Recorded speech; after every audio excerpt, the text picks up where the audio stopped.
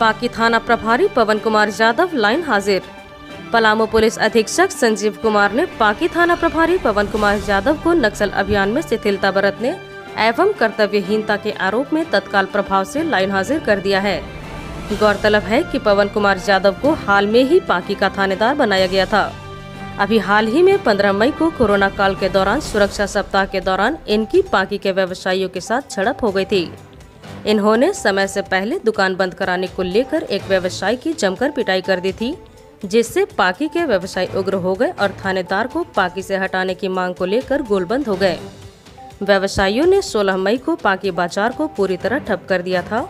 मामले की सूचना मिलने पर पाकी विधानसभा के विधायक डॉक्टर शशिभूषण मेहता पाकी पहुँचे उन्होंने व्यवसायियों को भरोसा दिया कि थानेदार को पाकि से हर हाल में हटवाया जाएगा।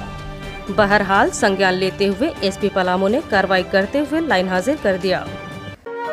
खबरें और महत्वपूर्ण जानकारी के लिए कड़वा दृष्टि यूट्यूब चैनल को सब्सक्राइब करें।